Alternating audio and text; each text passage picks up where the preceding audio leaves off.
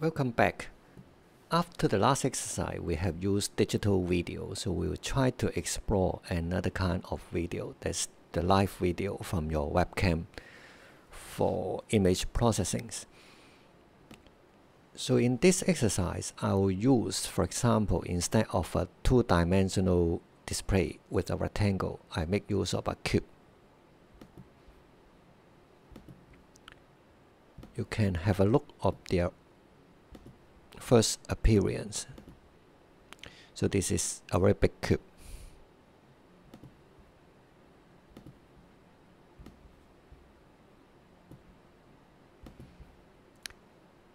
With the cube, you can control the size by putting a number at the second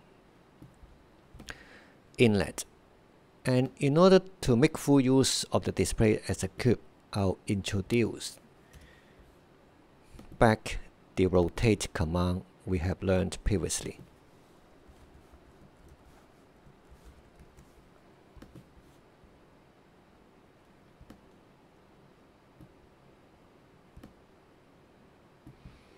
For each of the other inlet, we can put in a number for the X rotation and then the Y and Z.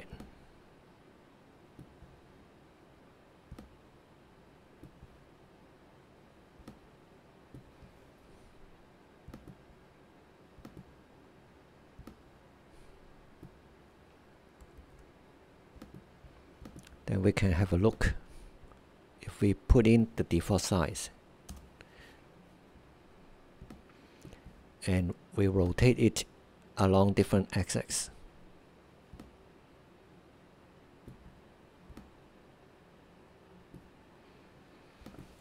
And we can reset it back to the original position.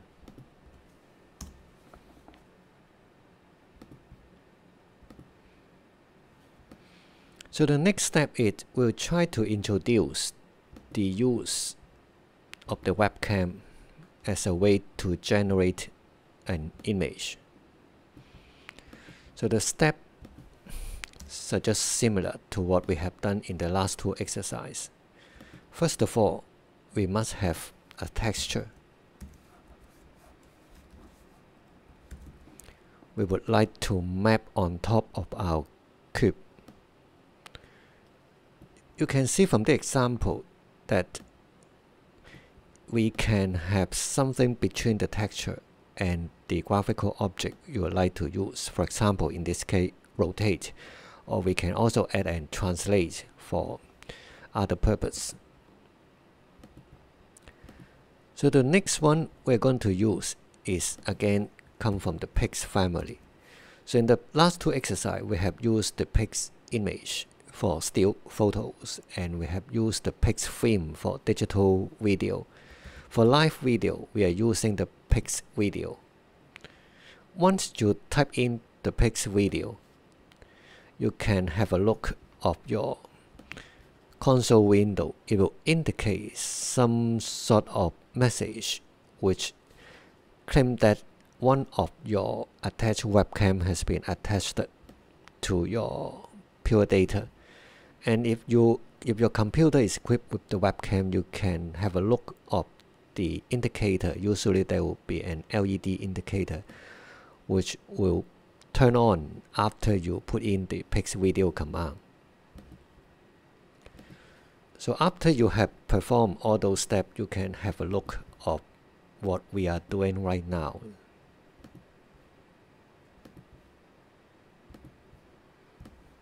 So this is my image, which go through the webcam command through the Pix video and then afterward it will convert into a piece of texture and wrap around this particular cube over here. And actually you can change the rotate parameter to have a look.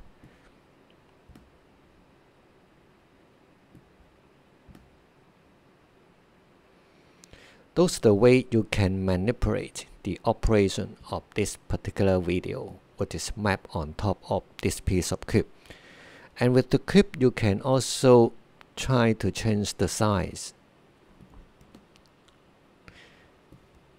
I'm pressing the shift key and doing the mouse drag on this particular number box. And once the size increased to a certain number you can see that it seems that you go in inside this particular cube and the image you can have a look. Is a kind of those sites you are looking into looking from the inside of this particular cube towards the outer area.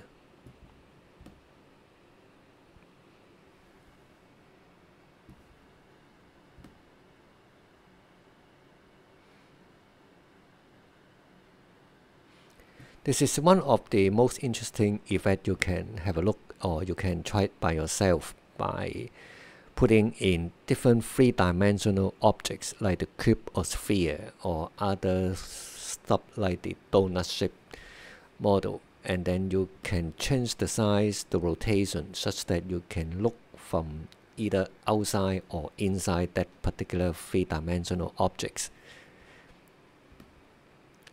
And if you would like to have a look of the parameter of the Pix video, you can have some information about the, the use. Usually, if your computer has more than one webcam or recording device, you can select uh, that which particular device you would like to capture the video and pass it through the Pix video command and actually you can have multiple of them and then use more than one webcam to to capture the image and then display within pure data. But you also need to pay attention to the performance. If you have more than one recording device open at the same time they may have some sort of performance issues. So this is the basic command we would like to make use of in order to capture the live video from the webcam or other recording device. So in later chapters, we're going to make use of the Pix video as a way to perform live motion or color tracking from the actual environment.